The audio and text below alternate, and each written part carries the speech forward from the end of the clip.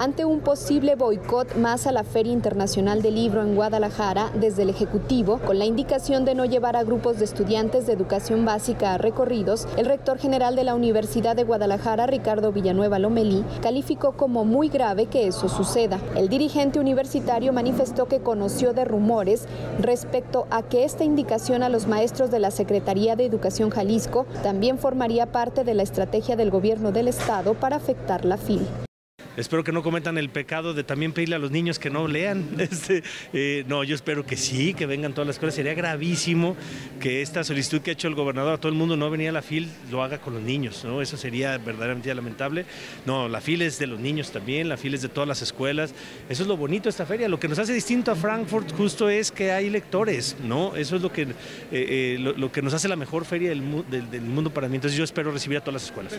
Villanueva Lomelí manifestó que hasta el momento sí han tenido visitas de escuelas, pero han pedido a los organizadores de la FIL estar al pendiente de cualquier cambio para denunciarlo públicamente, pues aunque hay quienes no hacen falta en la feria, los niños sí. En un balance de los cuatro días de este evento, el rector general expresó que solo ha recibido muestras de apoyo por parte de los invitados en los paneles donde participan y expresan que defienden la autonomía universitaria, así como su rechazo a este boicot y se comprueba la hipótesis que yo dije, la FIL se defiende solita, ¿no? Este, todas las conferencias, todos los panelistas, lo único que yo he recibido en estos eh, días de feria es, eh, tanto en los pasillos como en los eventos, muestras de solidaridad, de apoyo y un alto rechazo al boicot que intentó hacer el gobernador del Jalisco a la Feria del Libro.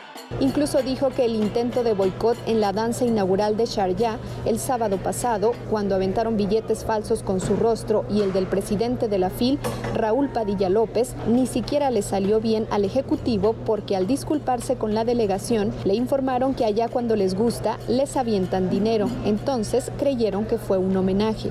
Hasta ahora, con los demás países ha tratado de disculparse y solo ha recibido comprensión.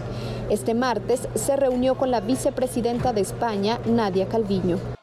No sé, este, sería maravilloso que viniera Dante Delgado, o sea, yo creo que sería una gran señal de estatura de que, de que el partido Movimiento Ciudadano a nivel nacional entiende que está mal lo que está haciendo su gobernador en Jalisco. Yo estoy seguro que Dante Delgado es una persona que entiende lo que está sucediendo y, sería maravilloso que viniera Dante Delgado para Hasta ahorita no sé si, si esté confirmado o no. Eh, hemos tenido presencia de Amalia García, que estuvo ayer con nosotros. Este, y mucha gente nos ha dicho, me llamaron para pedirme no venir y eso a mí no se me pide. Este, entonces, eh, pues esperemos que venga. Estaría muy bien si, si viniera Dante Delgado. Sería una gran señal de vida para Movimiento Ciudadano. Oiga, la seguridad. Con imágenes de Juan Luis Hernández para UDGTV Canal 44, Fátima Aguilar.